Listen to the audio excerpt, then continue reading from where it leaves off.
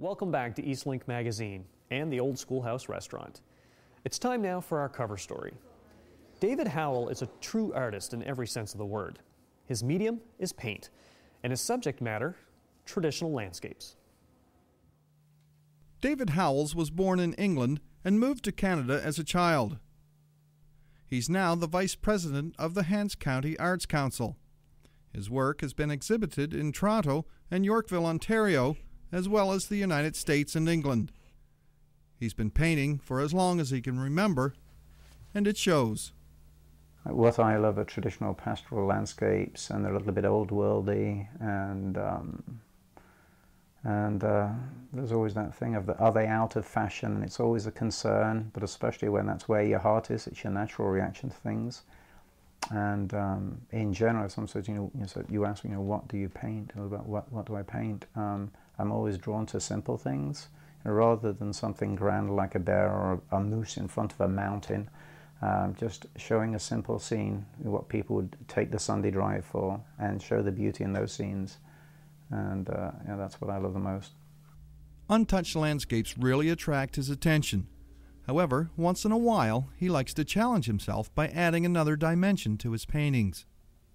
Architectural landscapes are far more complicated for me than, than a regular scene. Um, I love perspective, and it's a great challenge to play with what you've learned. Having this ability to adapt from one style to another has caught the eye of collectors.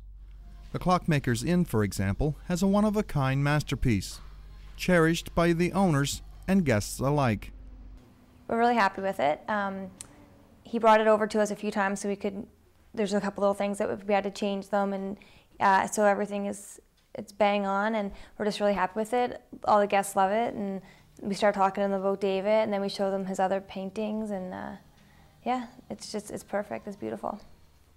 Dr. Amir Ahmad has the largest collection of David's paintings. The latest count puts it at 17.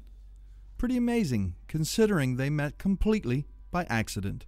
We met uh, several years ago as uh, actually it was uh, my English uh, patient. I met him in the emergency room in Windsor and um, um, started chatting and uh, over uh, time got to know each other. He introduced me to what he did and we went and met him um, at his gallery in, in the area in the valley and um, just loved his uh, work and uh, been collecting since. David admits most of his paintings come from just a single snapshot, though he knows that at any given moment, with different light and shadows, there are areas of the photograph that need to be filled in.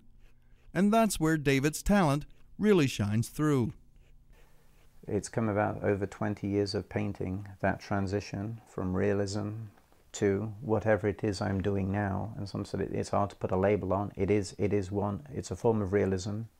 Um, a high realist, a photorealist could look at it and say, boy, you've really loosened up, you're very loose. And then uh, the average person looks at it and says, you know, I can't believe the detail, you're so tight, you know. And, and I sit back thinking, what do you do with that? But um, like I said, it's five layers of color. But um, the real painting comes at the end.